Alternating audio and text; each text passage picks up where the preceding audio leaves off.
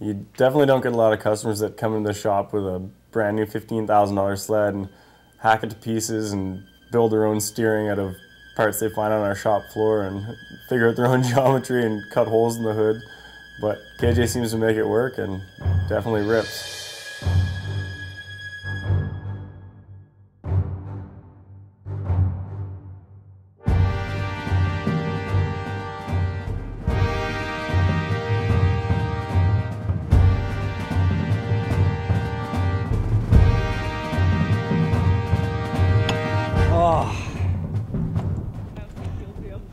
My steering.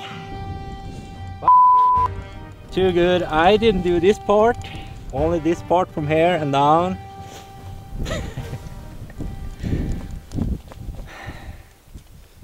and we are pretty far back.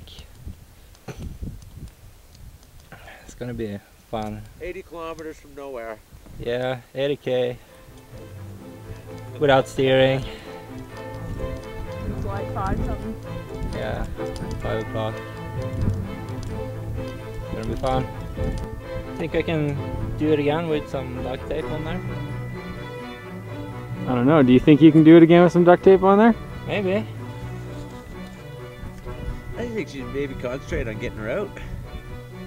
Get You get a little Yeah, bit of I, a distance I ride. definitely, I second that.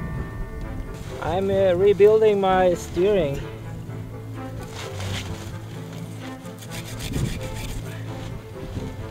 But not in the shop this time. it Would be way easier to use a boulder than some trees.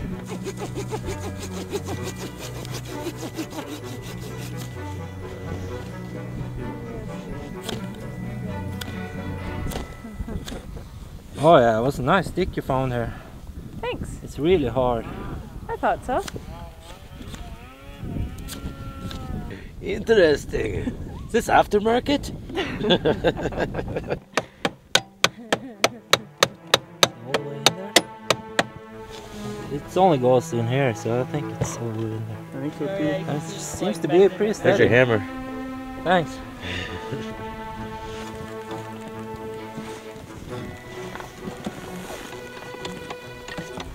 Oh yeah. yeah, I like Yeah. that glove. I'll leave that on there so it doesn't fall. That won't hurt nothing. Must it look good. Yeah, it must look good.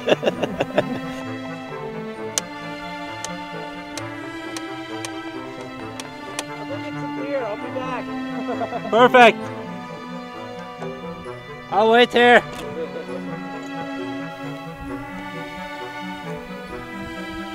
What will we do without duct tape?